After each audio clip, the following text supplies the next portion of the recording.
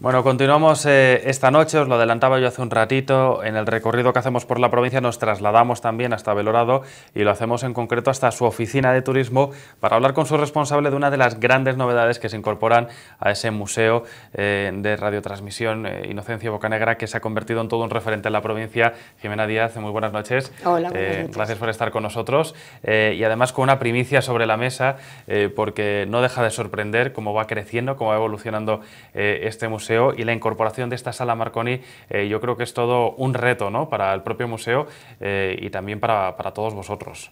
Sí, la verdad que es todo un reto, un poco en esa evolución que hacemos de, del museo, en intentar presentar pues, cosas nuevas que puedan atraer cada vez más público. Eh, pues llevamos ya como un año y pico trabajando en este proyecto y bueno, en presentar un poco el Titanic, que yo creo que es algo que pues, casi no necesita ni presentación. Bueno, era algo imprescindible ¿no? dentro de, eh, de, este museo. Eh, me imagino que mucha gente de la que nos está viendo ya conoce las instalaciones, habrá otra que todavía no.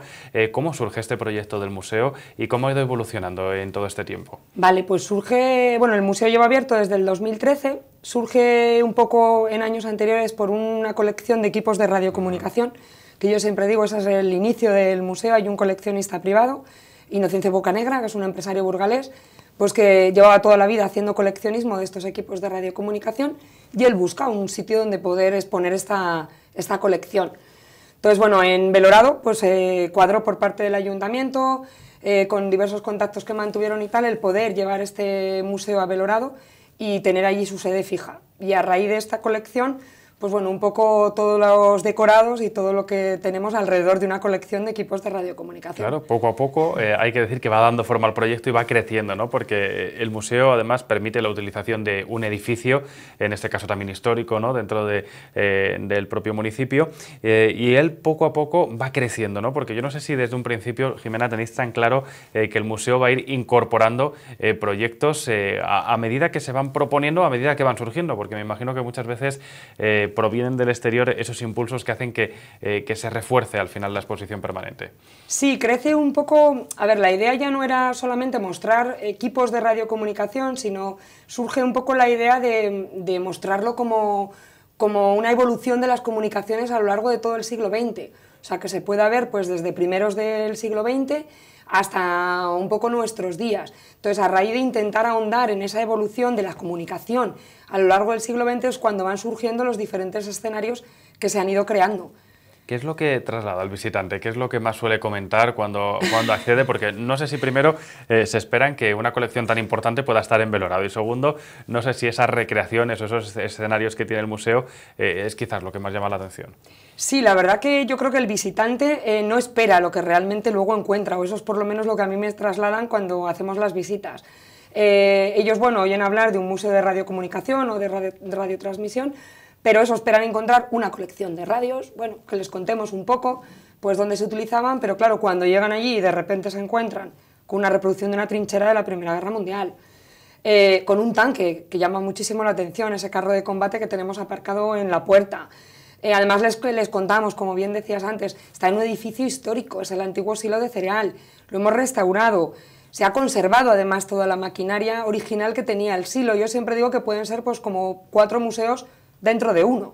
Realmente es uno, pero eso es el silo por un lado, esa recreación de la, la trinchera de Primera Guerra Mundial, esa colección de equipos de radiocomunicación, eh, seguimos con el carro de combate y lo último que es este decorado relacionado con el Titanic. Bueno, al final, eh, precisamente todas, eh, todas estas cuestiones han permitido que el foco de atención se ubique ¿no? en Belorado, porque más allá de nuestras fronteras, por supuesto provinciales, llegando a nivel internacional, más de uno se ha detenido ¿no? para ver lo que está sucediendo en Belorado y cómo va creciendo esta exposición. Sí, poco a poco, la verdad que lo que tratamos un poco también con el museo es diferenciarnos eh, Belorado es eje del, ese punto de paso del Camino de Santiago, con lo cual atrae eh, pues mucha gente de diferentes puntos del mundo. Y eso, tratábamos un poco de diferenciarlo. En el camino siempre decimos, hay muchas iglesias, hay muchos monumentos que se pueden visitar, pero quizá, quizás el poner este museo allí pues nos haga el diferenciarnos, el que simplemente eh, el caminante, mismo el peregrino que pasa por allí, pues de repente se encuentra con esto y claro, normalmente dicen, no puede ser, ¿qué hace? ¿Qué pinta una trinchera de la Primera Guerra Mundial en Belorado? No entiendo, le tienes que explicar Pero bueno, se trata eso de diferenciarnos también, ¿no? de hacer ese punto diferente y que ponga Belorado dentro del mapa. Bueno, para complementar la exposición, esta sala Marconi, eh, yo creo que hoy en día, y si uno se acerca a la radiotransmisión, eh, hay que tener ¿no? Eh, esta sala Marconi por cuanto supuso ya no solo el naufragio del Titanic, sino también el mito que surgió a partir de ese momento y todo, ¿no? también lo relacionado con lo que en esta sala ocurrió. ¿Cómo ha sido precisamente todo este proceso hasta que habéis podido tener ya la sala la preparada? ha sido complicado, ha sido muchas horas de trabajo de mucha gente que ha colaborado con nosotros, que han estado pues eso, desde restaurando muebles, haciendo todos los decorados, hemos eh, recreado toda una parte de la cubierta de botes donde se ubicaba el, la cubierta A, donde se ubicaba ese puesto de mando y esa sala Marconi. Entonces lleva entonces, un trabajo de documentación muy importante que Luis Jorge, el alcalde, ha realizado, un trabajo eso por parte de restauradores, de muchas empresas que han trabajado con nosotros para materializarlo. Hoy seguían, seguíamos trabajando frenéticamente para que mañana esté todo preparado en esa inauguración. ¿Qué ha sido lo más complicado? Porque hablas de ese proceso de documentación, imagino eh, que al final cuando uno quiere recrear una sala como esta, eh, lo que quiere es ser lo más fiel ¿no? Eh, a la verdad y se han dicho tantas cosas del Titanic que no, yo no sé si esto al final juega a favor o, o, invita precisamente a que se bucee más en lo que realmente existió en el barco. Claro, tienes eso, que intentar discernir entre lo que sí puede ser real, toda la leyenda que hay creada en torno al Titanic y luego también lo que nosotros hemos intentado es ir mucho a la personalización al detalle, a buscar pues eso, el número del camarote que estaba exactamente en esa cubierta que recreamos, a la personalización hemos buscado el pasajero, el nombre del pasajero que estaba en ese, en ese camarote, que se alojaba en ese camarote. Hemos buscado la personalización, pues eso, en la sala Marconi, pero no hablar de la sala Marconi, sin más, también de los dos radiooperadores que dieron su vida porque eh, se pudiera, ¿no? se pudiera salvar el mayor número de gente posible. Entonces, ahondar también en esa parte humana, que yo creo que igual es la que también más puede llegar a la gente, porque del Titanic se han dicho muchas cosas, se ha hablado mucho, pero eso, quizás el, intentar llegar, el que tú entres en ese pasillo y llegues a ese camarote y de repente tú te encuentres allí la foto de, de esa persona, es que era una persona real la que iba allí. O sea, personalizarlo en eso, que la gente no sé, se lo interiorice, que lo sienta un poco, pues como que, al final em- empatice, ¿no? También, eso es, que empatice. Eh, al final con lo que allí se estuvo, se estuvo viviendo durante todo ese tiempo, ¿no? Eh, ¿Qué ha sido lo más complicado a la hora de recrear, a la hora de ponerse eh, manos a la obra? Porque sé que cada vez que iniciáis un proyecto en el, en el museo contáis con muchísimo apoyo también de gente que quiere colaborar, pero ¿qué ha sido lo más complicado? No sé si esa parte también de, de, poder plasmarlo luego a la realidad, hacerse con todos los muebles, con todos los detalles, porque aquí ha querido recrearse lo más fiel posible. Claro, yo creo que lo más complicado ha sido intentar hacer reproducciones de los equipos que estaban en esa sala Marconi. Claro, material original, algo nos ha cedido el coleccionista, tenía un aparato de radiotelegrafía, un manipulador, que eso el Inocencio lo tenía en su colección, pero luego intentar hacer réplicas de aquello que se encontraba allí es muy difícil porque no existe, aparte que es difícil encontrar una foto exacta de cómo era esa sala Marconi, hay muchas reproducciones, pero encontrar esa documentación de cómo era realmente, entonces quizás yo creo que esa parte de, documentarnos para hacer ese detalle y llevarlo a cabo, claro, que es eh, lo complicado. Que, no es tarea sencilla, ¿no? Pues ha sido bastante complicado. Eh, y tendremos que mejorar mucho, inauguramos, pero hay que mejorar, hay que seguir. Lo que está claro, Jimena, es que aquí de nuevo el museo vuelve a diferenciarse porque se convierte en un espacio único, ¿no? Eh, no sé si existe otra sala similar en todo el mundo. No, además no existe, bueno, no sé, yo a nivel de todo el mundo no me, no me atrevería, pero creo que no, a nivel de España desde luego no, y una recreación como la que nosotros hemos hecho eh, pues eso, con dos camarotes, eh, que tú puedes caminar por, por, ello, una recreación, un decorado como el nuestro es único en España seguro. Bueno, pues al final tenemos eh, una aportación nueva y única en España, y por qué es tan importante este fin de semana, nos hablabas de que a lo largo de, de, todo este día estabais ultimando, se inaugura, abre sus puertas, ¿no? Sí, abrimos las puertas mañana, a las 12 hacemos ese acto institucional para darlo a conocer al gran público, y luego, pues durante todo el fin de semana invitamos a la gente a acercarse a Belorado, porque tenemos preparadas jornadas de puertas abiertas para que puedan acceder al museo, visitarlo, conocer la sala Marconi, conocer ese otro decorado que hablábamos, que es la trinchera de Primera Guerra Mundial. Y bueno, pues eh, serían eso, accesos gratuitos y sí que tenemos unas horas marcadas también para poder hacer alguna visita guiada. Claro, si ¿cómo, alguien le interesa. ¿cómo se van a hacer? ¿no? Porque habrá mucha gente que nos vea, eh, que se pregunte, bueno, ¿cómo hay que hacer? ¿Hay que llegar? ¿Hay que escribirse? ¿Hay que interesarse un poquito por cómo van a ser esas visitas guiadas? Eh, ¿Cuál va a ser la planificación que durante el fin de semana se va a desarrollar? Vale, para hacerlo lo más fácil posible y por la experiencia un poco de otras veces, lo que hemos decidido es no coger reservas anticipadas, porque suele ser bastante complicado a la hora de luego llevarlo a, la práctica. Entonces, nada, serán puertas abiertas el sábado de 11 a 3 y de 4 a 8. Y el domingo de 11 a 3 y de 4 a 6. Dentro de ese horario, todo el que quiera se puede acercar al museo, va a estar abierto y se puede visitar. Y luego a unas determinadas horas, que serán a las 11, a la 1, a las 5 y a las 7 el sábado, y a las 11, a la 1 y a las 5 el domingo, pues podrán hacer una visita guiada de unos 40 minutitos de duración visitaremos esa sala Marconi, haremos un pequeño recorrido, visitaremos ese, todos los, los camarotes, todo lo que hemos recreado y eso, bueno, pues para que puedan ir un poco más de la mano y puedan conocerlo un poquito más a fondo. Bueno, fin de semana entonces de toma de contacto, digamos, ¿no? para que la gente y pueda ver, para nosotros Para que la gente pueda ver cómo se ha ido trabajando en esa sala Marconi durante los últimos meses, cómo se ha ido gestando el proyecto. Cada vez que se habla de Titanic, eh, Jimena, eh, hay muchos aficionados, muchos amantes. Eh, no sé si esto ha llegado ya a oídos de algunos de ellos, algunos han interesado, se han llamado, han preguntado. ¿Ha llegado ya lo que se está haciendo en Belorado? Sí, ha llegado. Ya hoy nos llamaban, ya esta mañana he tenido algunas llamadas de gente interesada. Luego también lo que la gente, por ejemplo, que ha visitado el museo en los últimos meses, les hemos contado el proyecto que se está haciendo y parece que sí que ha suscitado así interés por, por venir a conocerlo. Yo creo que tienen, bueno, pues la curiosidad, ¿no? ¿Cómo va a ser? Esta mañana teníamos un grupo de un instituto y también digo, bueno, dicen, nos vas a dejar sin... Bueno, os voy a pasar así un poco... En primicia, ¿no? En primicia, Y la verdad que se han quedado sorprendidos, de, claro, de, cómo era al final, eh, la oferta que tiene el museo, y yo creo que es algo que también le hace atractivo, es que eh, es para todos los públicos, es decir, que una familia entera puede recorrerlo porque seguro que eh, suscita interés en todos los miembros, ¿no? Por algún u otro motivo, alguna de las piezas, alguno de los decorados va a llamar la atención. Sí, es un poco como, habla un poco de la historia de la comunicación realmente en todo el siglo XX, pues desde el tanque que llama la atención a los más pequeños, les explicamos pues, cómo se hacían allí las comunicaciones en el interior del tanque, les dejamos entrar.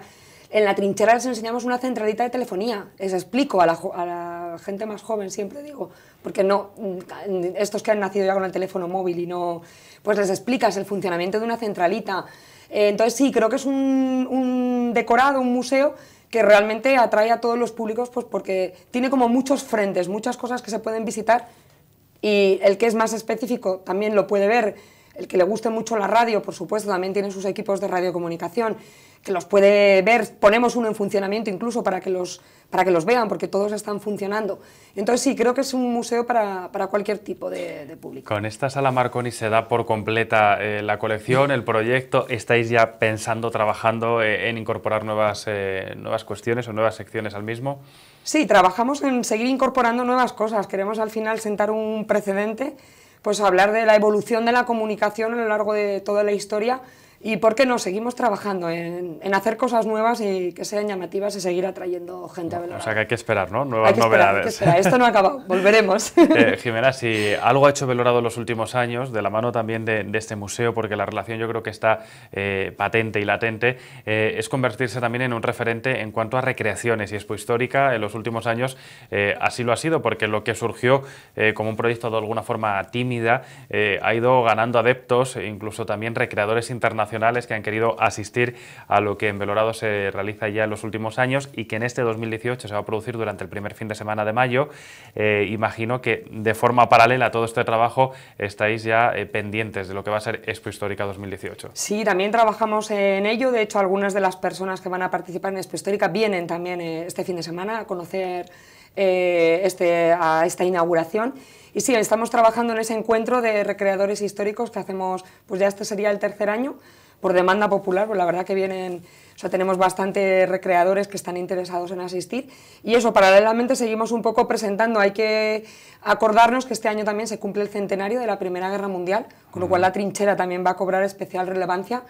Y haremos eso, varios capítulos de recreación histórica ese fin de semana. ¿Por qué Expo Histórica ha conseguido hacerse un hueco eh, entre las principales recreaciones y además siendo un proyecto tan joven, ¿no? Porque al final eh, hay otros que tienen muchos más años, pero ha logrado llamar la atención, yo no sé si por las recreaciones del muro de Berlín, eh, si por eh, centrar la atención en aspectos muy concretos o precisamente por la envergadura con, con la que nacía ya el proyecto. Sí, yo creo que un poco, hombre, los decorados que tenemos yo creo que han ayudado bastante. El hecho de tener una recreación de una trinchera, yo recuerdo la primera vez que vino una asociación de recreación histórica que hacía mucho Primera Guerra Mundial, claro, se quedó alucinado, no, o sea, no entendía qué hacía aquella reproducción en, en Belorado. Entonces eso empezó a suscitar un poco la atención de los recreadores. Y ya cuando hicimos la reproducción del Checkpoint Charlie de Berlín con este carro de combate que hablaba y la reproducción del muro, pues yo creo que todavía más tenemos una asociación de recreación histórica de la República Democrática Alemana, que es la única que existe en España además, y ellos son los que la verdad que nos están impulsando y nos están ayudando mucho a impulsar este evento a nivel de recreación pues son ellos, ¿no? Al final los que se mueven. ¿Cuántos, ¿cuántos recreadores habrá en esta edición del año 2018 aproximadamente? Porque sé que eh, en, esto también estáis muy atentos porque ha ido creciendo, pero también hay que ser conscientes ¿no? de lo que hay entre manos. Claro, hay que ser muy conscientes, tampoco lo hacemos eso mediante invitaciones, tampoco queremos que el hecho... Claro, el, pueblo al final tiene, yo siempre digo, un poco las limitaciones que tiene, no es un, es un pueblo de 2.000 habitantes, tenemos que también centrarnos un poco en las infraestructuras y en lo que tenemos, entonces tampoco podemos eh, permitir que esto se nos, se nos vaya, digamos, unos 150 más o menos son un poco la, la, la la suma actual de recreadores que aproximadamente tenemos ya confirmados. Bueno, eso va a ser el fin de semana eh, primero de mayo, eh, ese fin de semana del 5 de mayo, eh, pero yo quiero que recordemos lo que va a haber este fin de semana, Jimena, para todas aquellas personas que nos están viendo, que van a querer acercarse seguro a Belorado, van a tener opción, aquellas que no lo hagan este fin de semana, de ahora en adelante, para poder conocer la sala Marconi, pero como sé que hay mucho interés, recuérdanos los horarios y en qué momento se van a realizar esas visitas guiadas. Eh, son jornadas de puertas abiertas, el sábado serían de 11 a 3 y de 4 a 8. Dentro de ese horario el público va a poder acceder libremente y luego se harán una serie de visitas guiadas que serán a las 11 y a las 12, perdón, a las 11 y a la 1, a las 5 eh, y a las 7. Serían una visita de unos 40 minutos, aquí sí que va a ser un aforo limitado, unas 25 personas las que podrán hacer esa visita. Mientras eh, estamos haciendo esa visita, la trinchera va a permanecer abierta, o sea que no es que eh, pueden acercarse al museo y si en ese momento se está realizando la visita guiada y la parte del Titanic está cerrada, la trinchera va a permanecer abierta para poderse visitar. Y el domingo sería un poquito igual, lo único que reducimos un poquito el horario de la tarde. Sería de puertas abiertas de 11 a 3 y de 4 a 6. Entonces, visitas guiadas a las 11 y a la 1 y por la tarde a las 5. Pues Creo que lo he dicho todo bien. la gente ya sabe, eh, cualquier duda, eh, la oficina de, turismo van a resolver cualquier eh, duda que pueda existir al respecto. Y yo no te lo he preguntado, Jimena, pero me imagino que todo ello complementado con la Semana Santa que tenemos a la vuelta de la esquina, trabajando también mucho ¿no? para los días que vienen delante, aprovechar también ese tirón de, estos días para toda, gente, toda aquella gente que quiera conocer la sala Marconi y el resto del museo. yo te agradezco mucho que hayas estado este ratito con nosotros. Gracias a vosotros. enhorabuena por ese proyecto. Eh, espero que nos veamos eh, más veces y siempre con novedades de, este tipo, porque siempre es bueno ¿no? Eh, hablar de, todos esos atractivos que tiene también la provincia y en esta ocasión con esa invitación a Belorado nos quedamos. Muchísimas gracias, gracias y nosotros continuamos.